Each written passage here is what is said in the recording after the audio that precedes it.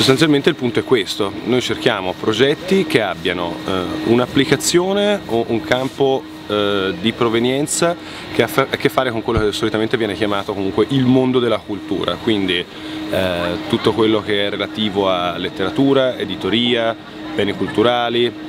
danza, arte, filosofia, antropologia, sociologia, sicuramente non ne dimentico qualcuno ma comunque tutte le specifiche ci sono sul sito ehm, e quindi questo deve essere il campo al quale sono collegati i progetti. Allo stesso tempo cerchiamo progetti che soddisfino otto requisiti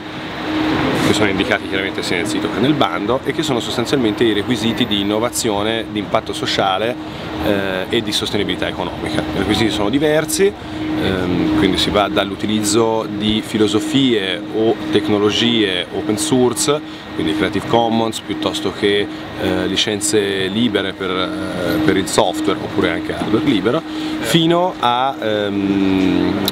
criteri come la scalabilità e la riproducibilità del,